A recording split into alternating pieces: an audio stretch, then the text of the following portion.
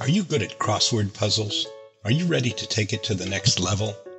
Try the Rows Garden puzzles from Garden Party Crosswords. Look at the design of the Rows Garden.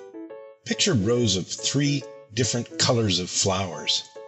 There are about the same number of spaces for letters as you would see in a normal American daily crossword, but no black squares. On each row, the solver enters two answers, except for rows A and L, which have one answer each.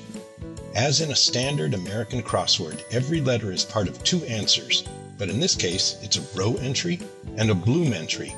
If you can guess two or three row answers, you are on your way, because each correct row answer will reveal three letters each of two or more blooms on an adjacent row.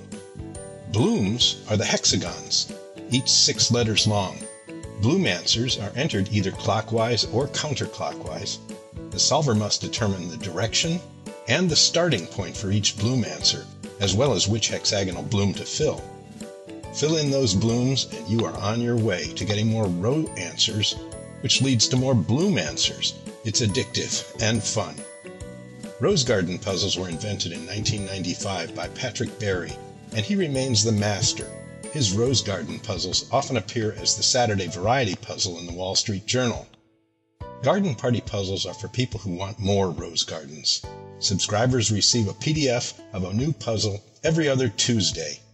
Go to gardenpartycrosswords.com and subscribe today. Thanks.